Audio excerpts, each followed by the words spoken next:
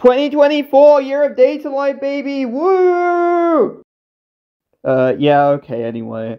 2024 is shaping up to be a very good year for Date A Live fans, so let's talk about all the Date A Live things coming out this year and why we should be super excited as a Date A Live fan. So of course the first thing is Date A Live 5, which will air sometime this year, and while we haven't seen very much from it yet, just from reading this Arcana light novel, I already know it's going to be peak fiction. Even if they fuck up the limited astral dresses again, oh my god, why did they do that? The second thing is something we found out about just recently, and it's something that I'm obviously extremely excited for, and that's the official English translation of Ren Dystopia.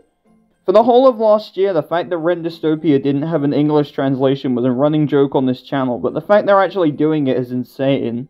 I honestly didn't think it would actually happen, and if it did, I thought they would wait until the next visual novel came out and release it in a collection or something, but boy was I glad to be proven wrong.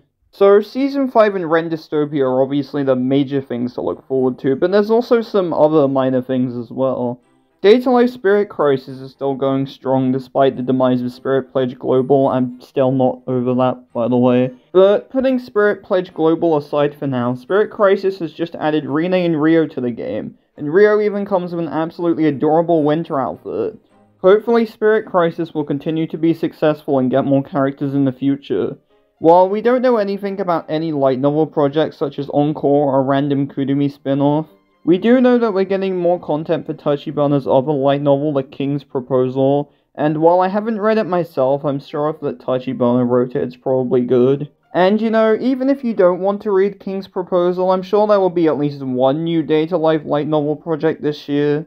Last year, Kurumi Detective was just randomly dropped, so who knows, it could very easily happen again. We will probably also get some more Japanese exclusive merchandise, which is great because I can't buy it.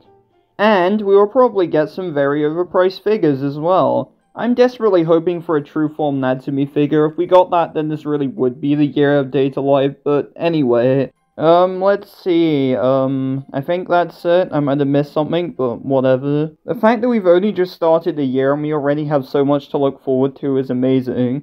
Date A Live fans really will be eating good this year, and I really can't wait for Season 5 in Ren Dystopia. So yeah, um, keep on talking about Date A Live, whoever happens to be watching this, and I will be leaving now.